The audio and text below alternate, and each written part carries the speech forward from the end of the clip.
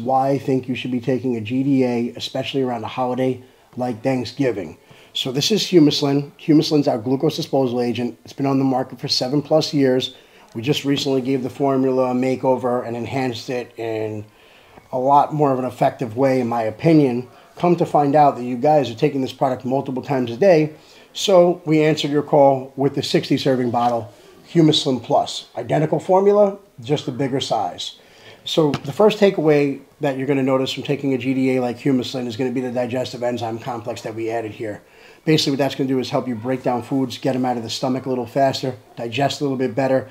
You're not going to feel as bloated. You're going to feel more comfortable while eating and consuming bigger calorie meals. Next, you're going to see an improvement in insulin sensitivity. The more insulin responsive and insulin sensitive you are, the better chance of drawing those nutrients into the muscles and utilizing them a little bit more effectively.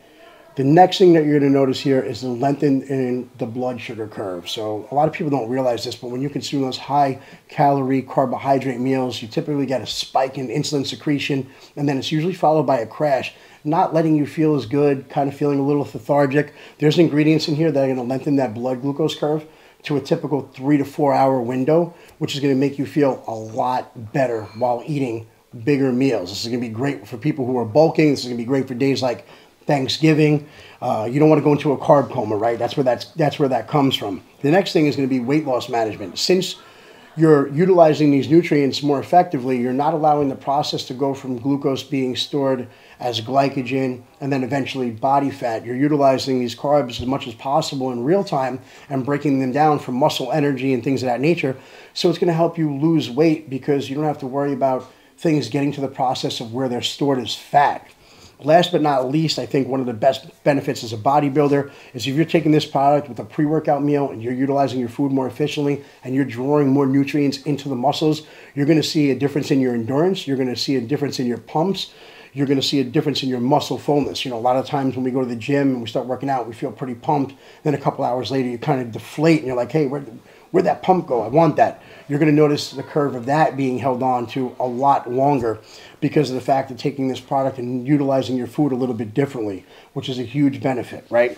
So basically, what I do and how I would recommend taking this product is I would recommend three capsules with breakfast. Breakfast is the morning. You want to start your day, get the metabolism going, get the food out of the stomach and utilizing it more effectively. Typically, I go to the gym and do cardio in a fasted state. So this is a great benefit for me.